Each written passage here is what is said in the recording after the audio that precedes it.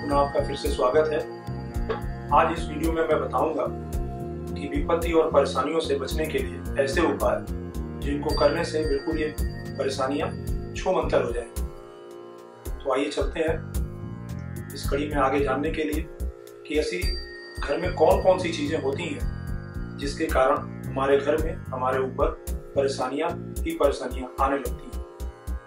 तो शयन कक्ष में जो पति पत्नी का जो बेडरूम रहता है, वो बहुत महत्वपूर्ण इसमें रहता है, घर के अंदर पति पत्नी के लिए। कि वो जो बेड जो होता है, वो दो हिस्सों में नहीं होना चाहिए, वो सिंगल एक होना चाहिए। गद्दा उसका दो पार्ट वाला नहीं, एक पार्ट में होना चाहिए। और घर में जो, जैसे खराब घड़ियाँ रहती हैं, पड़ी रहती हैं, रेडियो है, टीवी है, ये सब खराब स्थिति में कतई नहीं रहनी चाहिए। या तो इनको हटा दें, या तो इनको बनवा दें। इसके अलावा घर में जो कभी भी कैक्टस के या बोनसाई के पौधे नहीं लगाने चाहिए, क्योंकि इससे ज़्यादा घर के अंदर बहुत ज़्यादा निगेटिव एनर्जी क्रिएट होती है। कई घरों में बुक सेल्फ में जो किताबें, कापियाँ जो पड़ी रहती हैं, पुराने पेपर हैं पेन ऐसे हैं जो चलते नहीं है, या ऐसी स्टेशनरी जो इस्तेमाल में ही नहीं है, वो भी घरों में पड़ी रहती है, जो कि बिल्कुल अच्छी नहीं है। और उससे ज़्यादा इतनी ज़्यादा निगेटिव एनर्जी क्रिएट होती है कि घर के अंदर लोगों को बहुत सारी परेशानियों का सामना करना पड़ता है। इसी तरीके से हम देखते हैं कि घर में सूखे फूल, मुरझाए फूल पेड़ पौधे रहते हैं, जो कि एक बहुत ही अशुभ माना जाता है वास्तु के अंदर। तो घर में अगर सूखे फूल, पत्ते पेड़ पौधे हों, मुरझाए हों, पत्तियाँ गिरी हुई हों तो उनको साफ़ कर देना चाहिए।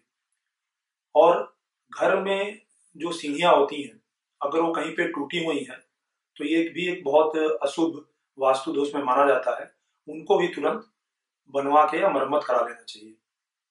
इसके अलावा घर में खिड़की दरवाजे जब हम बंद करते हैं तो उसमें से आवाज़ें बहुत आती हैं ऐसी जगहों पे, जहाँ पे घर में दिक्कत परेशानी रहती है। वहाँ पे खिड़की दरवाजे हम पल्ले जब बंद करते हैं तो उसमें आवाज़ बहुत आती है।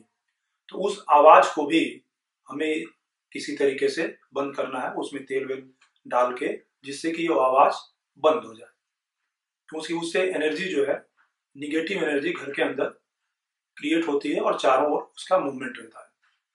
इसके अलावा घर के अंदर जितनी अनावश्यक चीज़ें हैं, जो हम घर में रखते हैं, जिनका हम प्रयोग या उपयोग नहीं कर रहे हैं, उसको भी घर से हर हाल में हटा देना चाहिए।